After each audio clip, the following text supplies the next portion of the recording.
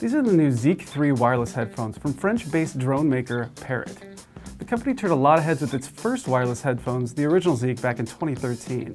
And the newest version is slimmed down, styled up, and has a ton of features, making them perhaps the most advanced wireless headphones in the world. When it comes to style, not a lot has changed since last year's version, but the company did add some more modern colors like this cream color here, a diamond stitching available, and there's also a crocodile slash alligator style stitching as well. Under the sleek minimalist style, the Zik hide all kinds of technology. Can see right here, there's some touch sensors on the inside of the pad on the right side, and that allows the headphones to actually cancel noise cancellation and pause the music when you take them off. On the outside of the right earpiece are touch-sensitive controls so you can skip, forward and backwards, pause and play song, uh, turn the volume up and down, and even take calls. There are actually six microphones on board here, allowing the headphones to do great noise cancellation, allow you to take calls, and even bring in outside noise for the street mode feature, which allows you to hear the ambience around you. There are also basic inputs on the bottom here. There's a 3.5 millimeter analog inputs you can plug in when they're powered down. And interestingly, there's also a digital input here at the micro USB charging port that allows you to source 24-bit 192 kilohertz high-res music. Also new this year is Apple Watch support, as well as this sensor right here under the left earpiece that allows you to do uh, wireless charging through a Qi wireless charger. But you will have to buy your own. Luckily, you don't have to take the top off, you can just set them and let them charge. As we've come to expect from Parrot, all the heavy lifting is done inside the dedicated Parrot Zik app. You can see you've got a battery indicator right there. They only have about seven hours, which isn't great, but it is improved over last year's model.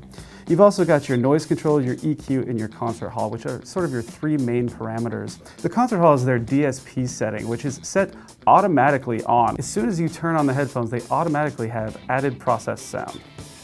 Getting deeper into the app lets you do all sorts of things. Now this is the main noise canceling window. It allows you to move it from max noise canceling to off, street mode to max street mode. Both of those actually bring in ambient sounds around you when you walk around. Digging deeper in, we've got this equalizer mode, which actually allows you to move this little orange dot towards any of these presets. The closer you move it, the more it's affected by that preset. You've got vocal, pop, deep. As you can imagine, these ones down here add more bass, these ones up here add a little bit more clarity to the mid-range, and so on. And then here's the DSP setting we mentioned at the start. Now again, it's automatically set to default, but you can turn it off from the front, and you can also choose all these different different sizes of rooms.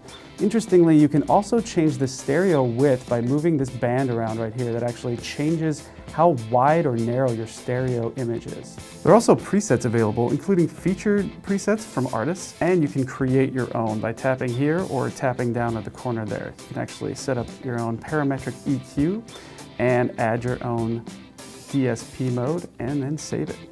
And you can go even deeper in the settings window, basically tailoring everything they do. You can change noise canceling for calling, turn off the sensors, do all kinds of stuff. Set it for when the auto timer goes off. There are a boatload of features here. Just about anything you want to control on the headphones, you can. And when it comes to noise canceling, the Zik 3 are among the best in the business.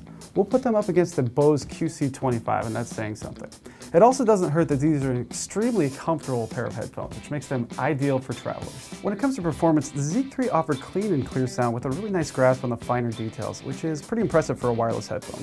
And you'll get even better sound when you plug in digitally with that 24-bit 192 kilohertz DAC they have on board. However, when the cans are powered up, there's no getting away from the highly processed nature of the Zik 3's sound signature. Even if you disengage all the effects, the headphones have a synthetic sheen draped over instruments, especially notable in brass, acoustic instruments, woodwinds. You can remove some of that by powering them down and plugging in the old-fashioned way, but you will lose some fidelity there. And besides, these cans are tailor-made for wireless listening. At $400, the Zik 3 are a pricey venture, even considering their huge list of features. And the sound is just a bit too processed for our taste. That said, if you're looking for a comfy pair of cans with top-notch noise canceling that's sure to make all your techie friends green with envy, the Zik 3 may be the wireless cans for you.